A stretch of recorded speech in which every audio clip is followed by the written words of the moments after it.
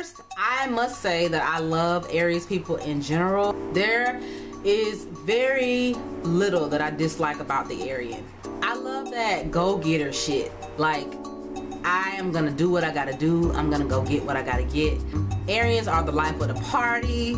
They have that I'm the shit type of vibe. You will never have a dull day with the Ram, honey. Your anytime you are around an Arian, their energy is just gonna totally just get you hyped.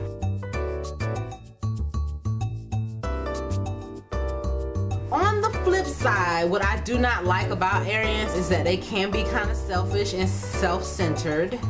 It's all about them and that's it. And they're really hot-headed, so when you do try to say something about that, they don't want to hear it. They're like really stubborn, their mind is just like off. They can just blow up on you without first seeing any reason.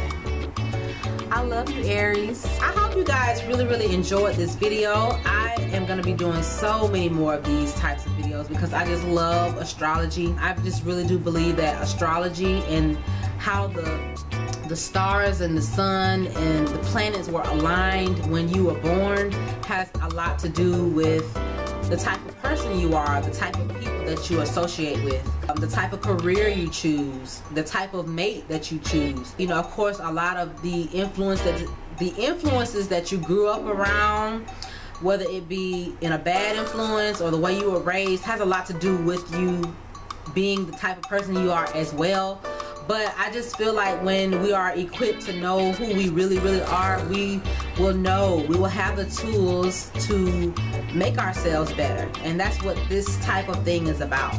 So I hope you guys really really enjoyed this video. Please leave some comments below. Please like the video. I want you to like the video so that you can just show YouTube that this is what you want to look at. I will see you guys on the next video and remember, there is no change without challenge. And I will see you guys again soon. Peace.